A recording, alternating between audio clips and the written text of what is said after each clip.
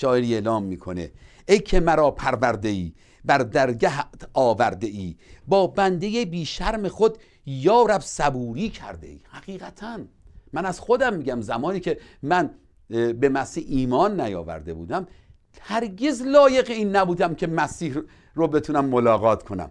و در زمان خودکشی فقط گفتم خدا یا حقیقت خودت رو بر من آشکار کن قبل از اینکه دیر بشه. و باور کنید این جملم جمله من نبود. جمله من جملات ناامیدی بود. کسی که می‌خواد خودکشی کنه هرگز نمی‌تونه جمله ای رو اعلام کنه که باعث امید و بنا بشه. حتی این جمله رو من ایمان دارم روح القدس اجازه داد بر دهان من قرار بگیره. که من مسیح رو ملاقات کردم و زندگی من رو خداوند برکت داد. من رو از اون مرداب حلاکت از اون عمق مرداب حلاکت دست منو گرفت منو پیدا کرد اوورد بیرون. این گواهی من هست و این شاعر اعلام می‌کنه باز ای که صبوری و حلیم گرچه نکردم جز جفا غیر از خیانت غیر از گناه کار دیگه ای نکردم. من از خودم میگم.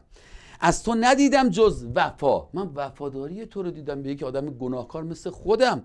راضی مشو بار دیگر. اجازه نده خدایا. وقتی با خدا زندگی می‌کنیم ازش می‌خوایم. خدایا من تکه بر خودم بکنم افتادم. من نابود خواهم شد. راضی مشو بار دیگر من جا بمانم ای خدا. اجازه نده امروز که من به تو ایمان آوردم. قلبم رو به تو دادم خداوندا. خدمتی رو شروع کردم. هر کسی از خودش بگه من از خودم میگم. خانوادم از مسیر نجات قرار گرفتم و تو مرا برکت دادی. اجازه نده خدا بر فکر خودم تکیه کنم. بر توانایی خودم تکیه کنم. بر استعداد خودم تکیه کنم. هرچند اینها چیزهای خوبی هست که خداوند تو به من دادی اما می‌خوام تکیهگاه من فقط تو باشی. و زمانی که شفای تفکر تنها در شخص ایجاد می شود وقتی این ایمان رو داره مسلم بدون. اولین اشتیاق اون خود خداوند خواهد بود. خود خدا خواهد بود که در ابتدای صبح اون شخص با خدا وقت می‌ذاره. صبحگاهان در حضور خدا هستش. و خدا حامی او خواهد بود. و می‌دونه که نیاز اولش خداست.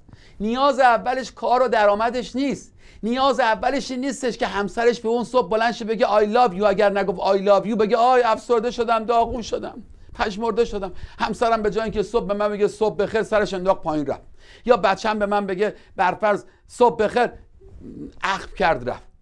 اون در ابتدا میره در حضور خدا تا بعد از این اخم اطرافیانش رو مشکل اطرافش رو نیز به خوبی ببینه چون تکش بر خداست.